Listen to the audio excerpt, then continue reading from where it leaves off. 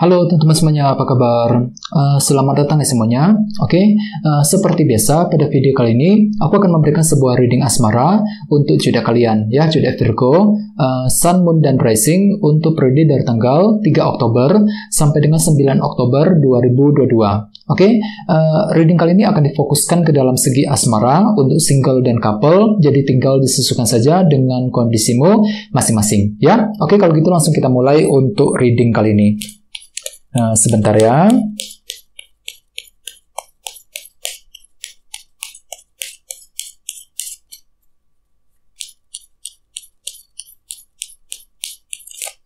Oke, sorry kartunya pada jatuh.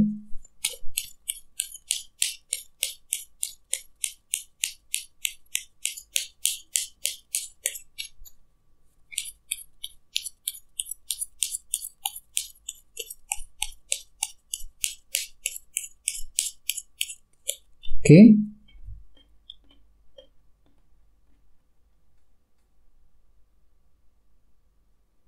Oke, Virgo, sekarang kita mulai. Yang pertama ada kartu 10 pedang, terus 7 pedang, uh, 2 pedang, The World, Queen of Cups, Ace of Swords, The Chariot, dan terakhir 9 cawan. Dan tema utamamu 6 pedang, oke? Okay? Cukup menarik energinya. By the way, di bawahnya ada ada kartu Death ya. Jadi mungkin ada yang lagi berhubungan dengan bintang Scorpio ya. Oke, okay, kartu Death melambangkan sebuah transformasi dan perubahan. Oke, okay, jadi ceritanya uh, Virgo, ada beberapa dari kalian minggu ini mungkin lagi mencoba untuk lebih berubah ya, lagi ingin memperbaiki ataupun merubah keadaan, keadaan dalam hubungan cinta kalian ke arah apa? Ke arah yang lebih baik tentunya. Misalnya mungkin lagi memperbaiki caramu ketika berbicara dengan dia ya, dengan seseorang, uh, uh, mungkin lagi memperbaiki uh, uh, langkah dan rencanamu ketika ingin uh, dengan seseorang dan lain, dan lain sebagainya.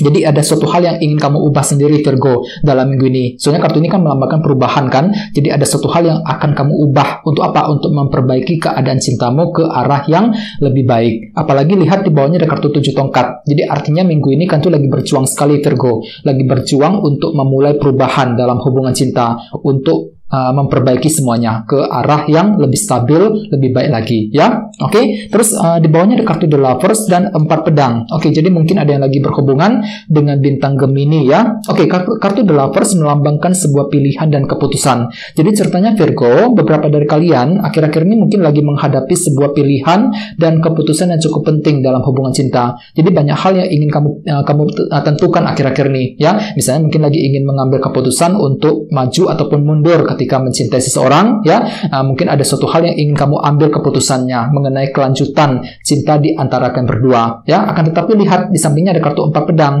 Jadi artinya banyak hal yang perlu kamu pertimbangkan panjang lebar Virgo sebelum bisa mengambil keputusan tersebut ya. Ini sudah terjadi akhir-akhir ini ya. Oke? Okay?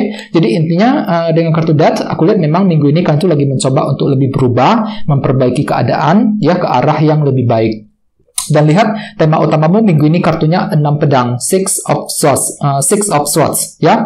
Ya, jadi artinya Virgo secara umum sebagian besar dari kalian untuk minggu ini mungkin lagi mencoba untuk menggunakan pikiran yang lebih tenang untuk mengejar tujuan cintamu masing-masing, ya. Ini berlaku untuk single dan couple. Seperti apa? Misalnya mungkin yang, yang lagi single ya, minggu ini kan lagi mencoba untuk melihat semuanya dengan lebih le, uh, dengan kacamata yang lebih tenang, dengan pikiran yang lebih, lebih tenang. Tenang ketika PDKT dengan dia, ya, tenang selangkah demi selangkah untuk mencintai seseorang dan sebagainya. Ya, jadi intinya kan itu akan mengejar tujuan cinta tersebut dengan pikiran yang cukup tenang. Bagi yang lain mungkin lagi mencoba untuk move on juga. Soalnya kartu ini kan juga melambangkan orang yang lagi belajar untuk move on kan. Jadi mungkin ada yang pernah terluka akhir-akhir ini, pernah disakiti seseorang, pernah putus cinta ya. Jadi apa pun itu gunakan waktu untuk move on minggu ini ya. Dengan kartu 6 pedang. Lihat kartunya, lihat gambarnya ada seseorang yang lagi berlayar kan, berlayar ke depan ke arah yang lebih tenang. Jadi beberapa dari kalian khususnya yang lagi single ya mungkin lagi mencoba untuk lebih mencari ketenangan ya untuk move on dari orang tersebut melupakan seseorang ya move on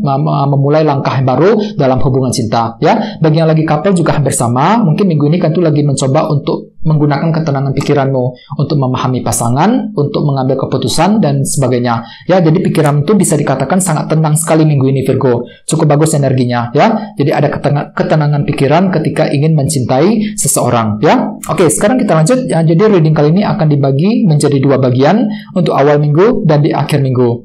Oke, kita mulai dari awal minggu ya. ya di sini ada kartu 10 pedang, 7 pedang, Queen of uh, Queen of Cups dan Ace of Swords. Uh, jadi mungkin ada yang lagi berhubungan dengan elemen air seperti Pisces, Scorpio, dan Cancer. Ya, oke. Okay, jadi ceritanya Virgo, uh, beberapa dari kalian di, di awal minggu nanti mungkin lagi fokus untuk menyelesaikan masalah dengan masalah cinta dengan seseorang. 10 pedang.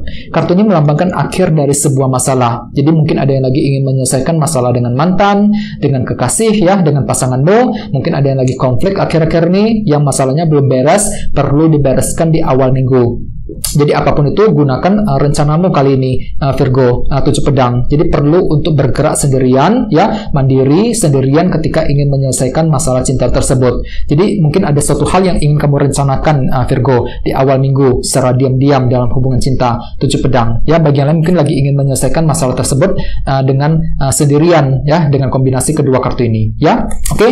uh, dan ingat tema utamamu kali ini kartunya enam pedang. Jadi artinya masalah tersebut akan kamu selesaikan dengan pikiran yang tenang uh, Virgo. Bagian lain mungkin lagi mencoba untuk move on ya, move on dari sebuah masalah cinta yang sedang terjadi akhir-akhir ini.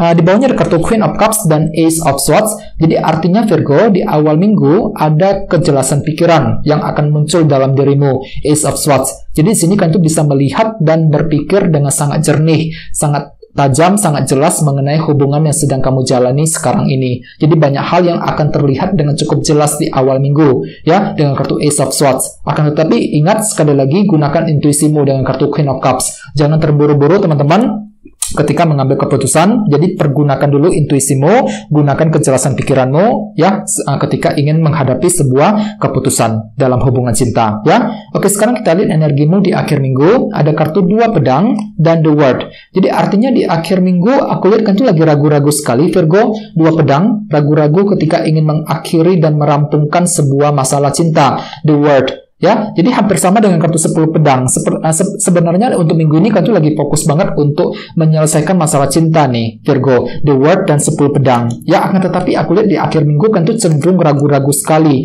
dua pedang. Mungkin lagi meragukan diri sendiri apakah bisa menyelesaikan masalah uh, masalah tersebut apa enggak, ya. Bisa juga mungkin lagi meragukan apakah masalah tersebut bisa selesai pada waktunya apa enggak. Jadi banyak hal yang membuat hatimu tuh lagi ragu-ragu sekali Virgo di akhir minggu dua pedang ini, ya. Jadi apa pun itu gunakan uh, waktu untuk memikir, memikirkan secara da- mendalam semuanya. Apalagi lihat di bawahnya ada kartu The Chariot.